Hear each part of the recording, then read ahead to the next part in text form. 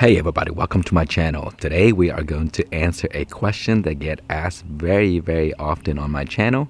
Uh, I've answered many times, but it's usually part of a long uh, video series and it people probably couldn't find it. So today I'm going to answer that question separately in this video. That way uh, if someone has a question about it again, I'll just link them to the video. So the question is regarding changing or refilling hydroponic nutrients in a Kratky setup.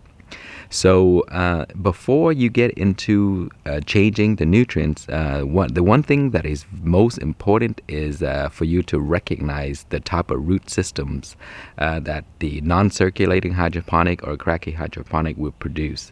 So I will show you. So when grown in uh, these non-circulating system, there are two types of roots. Uh, there's water roots, which is the roots that are submerged under the nutrients, and there's air roots. Those are the ones that are above the the, uh, the water level, and the way to tell is that the water roots uh, is always wet. Of course, it's always submerged underwater, and it's very straight and smooth.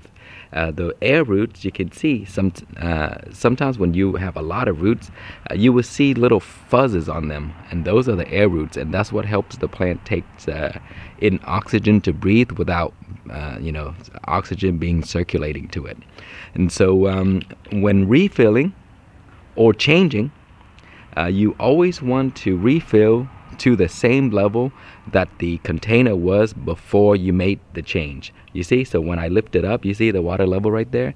And if I need to change it, uh, I would need to put back the same amount or a little bit more, just an inch above.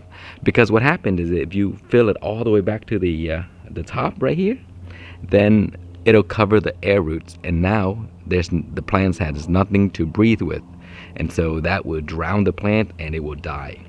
So um, a, a, trick for for this type of system is uh, um, always constantly check to see where the level is and refill it often because sometimes the plant drink too much and then if you wait too long the water level drop all the way down there.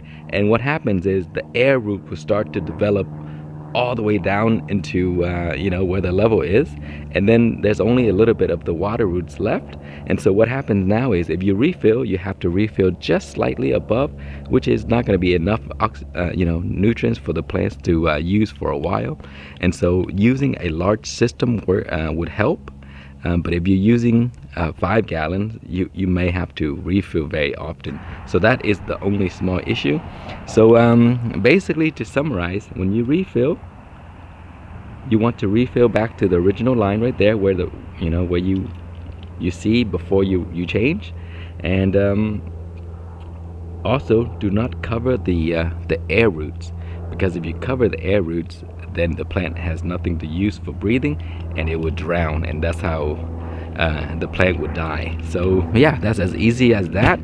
So that's pretty much it. It's pretty simple. Don't cover the air roots and the plants uh, your plants will be fine. Thank you so much for watching. Please like comment and subscribe